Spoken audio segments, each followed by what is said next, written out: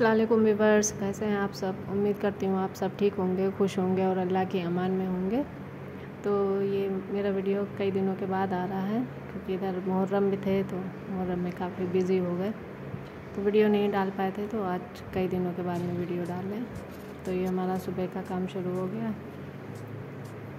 और सुबह नाश्ता और रोज़ का रूटीन है, जैसे रहता वैसे ही है, सब्ज़ी वगैरह बन रही है।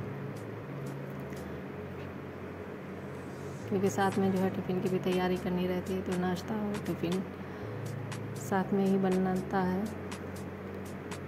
तो यहाँ पे हम पराठे के लिए आटा गूंद रहे थे। और रोटी का आटा पहले ही जो है गूंद के रख दिया था, क्योंकि टिफ़िन में रोटी देंगे और नाश्ते के लिए पराठे बना रहे थे।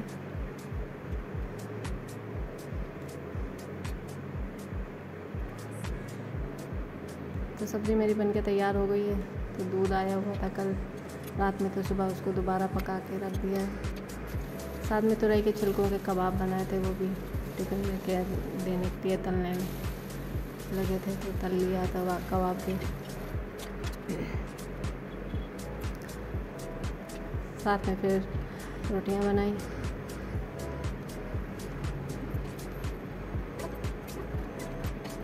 और रोटियों के साथ साथ पराठे भी साथ में बना लिए थे।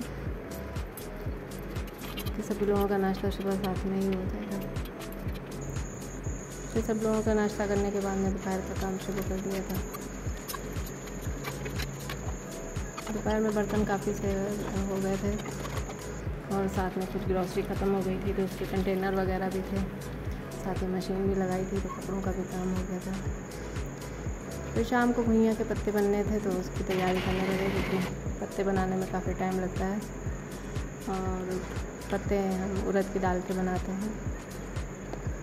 बहुत से लोग बेसन के भी बनाते हैं, लेकिन हमारे यहाँ दाल के पसंद किए जाते हैं तो ज़्यादातर हम दाल के ही बनाते हैं। तो भुइयाँ के पत्तों को धो के पहले ही साफ़ कर लिए थे, उसके तने को निकाल के साफ़ कर दिया था, फिर पत्तों पे दाल लगा दी थी।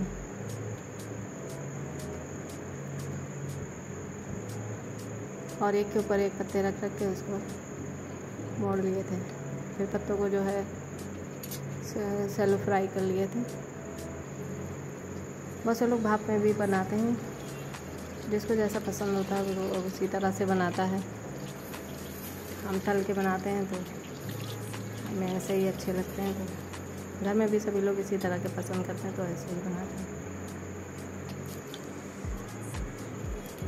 पत्ते भी तल के निकाल लिए थे। तब तक पत्ते ठंडे होंगे तो जो दाल बच गई थी, उसके छोटे छोटे से बड़े टाइप के बना लिए थे। बड़े चाहे सॉस के या चटनी या किसी के साथ। मेरे यहाँ सब चाय के साथ पसंद करते थे सब चाय के साथ शाम में खा लेंगे।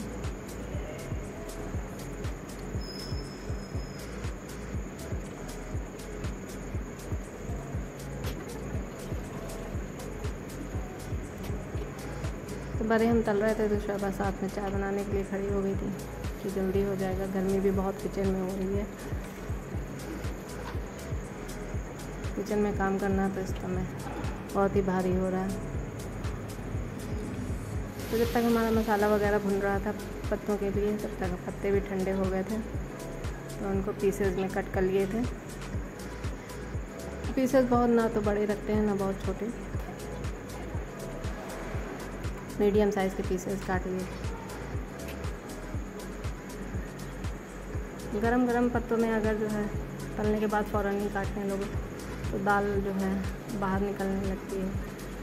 तो थोड़े ठंडे हो जाएँ, फिर उसके बाद ही काटते हैं। जब तक मसाला भी हो गया था।